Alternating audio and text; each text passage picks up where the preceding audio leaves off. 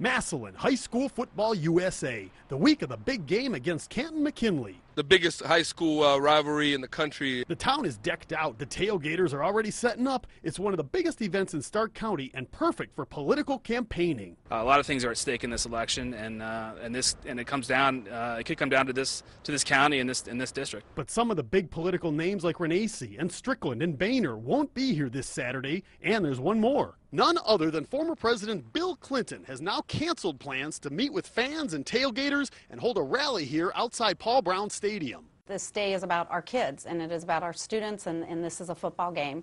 Um, we are a school system. Uh, uh, the rally uh, was called off. Officials say security issues and logistics were unmanageable on short notice. Republicans and Democrats all enjoy a good football uh, game. So we're looking forward to seeing the president, uh, uh, former President Clinton, at a different location in Canton. President Clinton will be campaigning with Governor Strickland this Saturday. They'll hold their rally here at Tozie's in Canton instead. We want to leave uh, leave football to football, and we'll have our rally over here. Here at Stark County Republican headquarters, where House Minority Leader John Boehner will appear with congressional candidate Jim Renacci. Meanwhile, the Massillon School District is glad the big campaigns have agreed to pull back and let the day be about high school and football and the school levy that they have on next week's ballot. It is just a renewal levy, uh, no new increases in taxes. On your side in Massillon, I'm Ted Cortan, News Channel 5.